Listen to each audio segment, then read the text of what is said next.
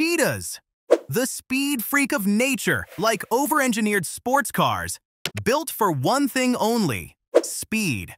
While other cats bulk up for power, the cheetah went full aerodynamics. Its body is a masterclass in biological streamlining. Light bones, long legs, and a spine that works like a coiled spring. Each stride can stretch up to 7 meters. That's bus length fast. From 0 to 100 in 3 seconds, flat faster than most Ferraris. But there's a catch. Cheetahs are sprinters, not marathoners. After half a minute, their engine overheats. So they rest, panting in the grass, living proof that being the fastest doesn't mean being the strongest. Their tear lines aren't for looks, there's sunshades built in. And while other cats roar, cheetahs chirp. Cute. Until you realize that chirp comes before something gets run down. But for all that speed, they're fragile. No backup, no pride, no plan B. The cheetah wins with grace, not force. The purest example that power can sound like wind. Lions. The Savannah Strategists. They rule the open plains like kings, sunlit and unbothered, golden coats under a golden sky. They look relaxed, but that calm is camouflage. They're built for collision, broad chests, thick bones, and that mane. Half armor, half ego. It's not decoration, it's design. When rivals clash, that halo becomes a shield. Nature's helmet for a heavyweight fight. What really sets lions apart isn't muscle, it's coordination. They're the only big cats that live like soldiers, in prides with order, rhythm, and strategy. The females coordinate flanking runs, while males guard territory and muscle in when the heavy lifting starts. It's less hunt and more savannah special ops. Every move is timing, every chase, a plan. And when the hunt begins, the calm cracks open. Wildebeests scatter, zebras twist through dust, vultures start their slow circles. It's pure choreography, chaos turned tactical. Still the ultimate sound system of Africa. Their roar rolls for miles, like thunder announcing ownership. It doesn't just say, I'm here. It says, everything you hear belongs to me. They rest most of the day, not from laziness, but design. Moving a living tank burns fuel fast, so they conserve until it's time to strike. But the so-called king? He's not the continent's top killer. That honor belongs to something smaller and far less forgiving. Jaguars. The quiet authority. Deep in the Americas, where the forest sweats and the air hums, lives a cat that doesn't perform. It dominates by default. The jaguar doesn't chase, it decides. Every part of it looks overbuilt for purpose. Thick neck, wide skull, short legs, all power condensed into stillness. When it moves, it doesn't rush. It calculates. Most cats kill to eat. The jaguar kills to maintain balance, a silent referee of its own ecosystem. Its bite is physics gone rogue, strong enough to punch through bone, shell, or skull depending on what's unfortunate that day. But the real art is restraint. It doesn't waste energy. It waits for certainty. Patience is its version of elegance. Water isn't a threat here. It's a hunting ground. Rivers fold around its body like fabric. Fish, turtles, and even caimans disappear without a splash. In a world where most predators avoid getting wet, this one rewrote the rules. Its coat mirrors the light that leaks through leaves, gold marked by black, as if the jungle painted it for camouflage and pride at once. No pattern repeats. Each one is an autograph. And when it appears in black, the so-called Panther of the Americas, the legend deepens. Same cat, different shade, same certainty. Myth and muscle in the same skin. Jaguars don't roar much. They don't need to. Everything around them already listens. Next comes their cousin who rules the same game with the opposite strategy. Less presence, more disappearance. Leopards, the master of shadows. If the jaguar is authority, the leopard is precision. It doesn't dominate space, it disappears into it. Smaller than lions, lighter than jaguars, but arguably the most adaptable of them all.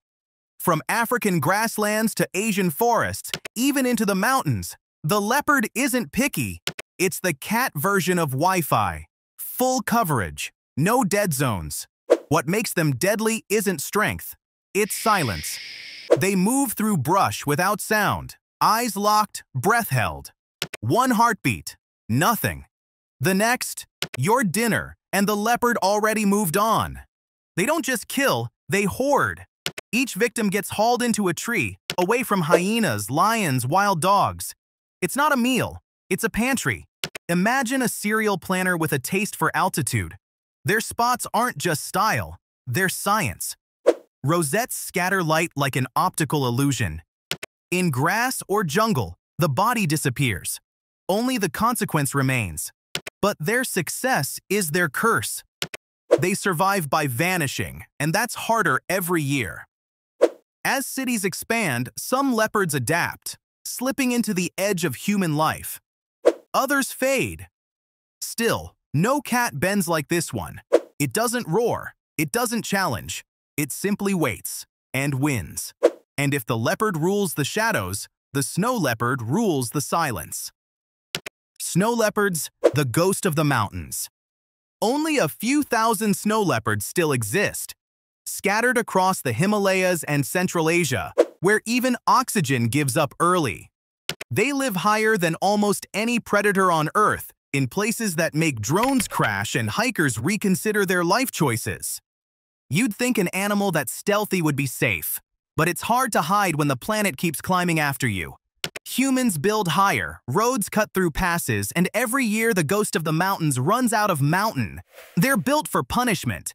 A coat thick enough to make parkas jealous, paws wide like natural snowshoes, and that tail, long, heavy, perfectly weighted, works as both balance pole and built-in blanket. Basically, evolution's version of multitasking. Their strength isn't bulk, it's precision. They move across rock faces like parkour athletes with manners. One leap clears a gorge most climbers would rope up for. Miss once, and you're just a rumor in the wind. They don't roar, they chuff, a soft, airy sound that's halfway between a sigh and a warning. You don't hear threat, you hear altitude. And unlike their relatives that creep into towns and suburbs, this one refuses to adapt. It climbs higher, trading comfort for solitude, like nature's most beautiful introvert. They fade not because they're weak, but because they're stubbornly perfect for a world that's vanishing. When a snow leopard looks at you, it doesn't feel like an encounter. It feels like a question. How far would you go to stay wild? Black Panthers. The shadow that thinks. If the snow leopard is a ghost, the Black Panther is the rumor people whisper about it. The name sounds like mythology, but here's the twist. There is no Black Panther. It's just a leopard or a jaguar with a rare glitch in the code, melanism, nature's version of night mode. In Asia and Africa, they're leopards. In the Americas, jaguars. Same shadow, different continent, Sometimes, if the sun catches right, you'll see the faint rosettes beneath the black, like secret markings the jungle wasn't planning to share. But at night, you don't see the panther. You see absence, outlined in instinct. Most cats win with muscle or speed. This one wins by not being there. Prey, poachers, even researchers only realize it existed once it's already gone. That's not camouflage. That's deletion. For decades, it was treated as folklore. I saw a shadow with eyes. Then trail cams proved it. The myth was never a myth, just a cat that didn't care if you believed in it. Because this isn't a species, it's a suggestion, a feeling, a presence with no timestamp. And sometimes the most powerful thing in nature isn't what hides, it's what doesn't need to be seen. Pumas, the cat with a thousand names. Leopards vanish, panthers haunt. But the puma? The puma just keeps showing up. Also known as cougar, mountain lion, catamount, Florida panther. It's a cat with more aliases than a con artist. Same species, different names, depending on where you bump into it. And that could be almost anywhere. From Canadian forests to the southern tip of Chile, the puma has the widest range of any wild cat in the Americas. No jungle? No problem. Snow, desert, swamp, suburb. It's already there. You just didn't hear it coming. Because this cat doesn't roar. It screams. Like actual horror movie scream. A noise so human it's triggered 911 calls. They hunt solo. No pride, no team. Just patience, power, and perfect silence. They stalk. They wait. Then it's over before the deer even knows it auditioned. Pumas don't do drama. They don't hoard kills, don't pose on rocks, don't try to look majestic. They just live, quietly, flexibly, everywhere, like nature's version of airplane mode. And while other cats struggle to adapt, the puma just changes zip codes. It's not the strongest, not the fastest, not the biggest, but it might be the most future-proof. Because when everything else moves or burns or breaks, this cat adjusts the route and keeps walking. Tigers, the blueprint of power. If Disney had picked stripes instead of manes, this would be the king. The tiger isn't loud. It doesn't need a crown. It just walks in like gravity made a deal with muscle. It's the largest of all big cats, longer, heavier, and quieter than any lion. Some reach over 300 kilos, others don't have to, because even a medium tiger makes everything else look like practice. Tigers don't do teams. They hunt, fight, and rule solo. No flanking runs, no backup plans, just focus. When a tiger moves, it's not stalking, it's clearing space. They don't roar to mark territory. They roar when the silence is already enough. You don't hear the tiger coming. You feel the forest go quiet. Each one wears a unique stripe pattern, a barcode carved into gold and muscle. But what really sets them apart isn't the look, it's the presence. For centuries, tigers weren't just feared, they were worshipped as protectors, destroyers, symbols of pure living force. And yes, in case that wasn't enough, there's even a version built for snow. The Siberian Tiger, 3 meters long, snow-colored, and still too quiet for your camera trap. But let's be honest, even the regular version is already the final boss. In the end, every big cat mastered its own rule. Speed, strength, stealth, survival. There's no single king of the wild, only creatures that learned how to fit perfectly into chaos. And that's what nature does best. It doesn't choose favorites, it experiments. Stay curious, and see you in the next one.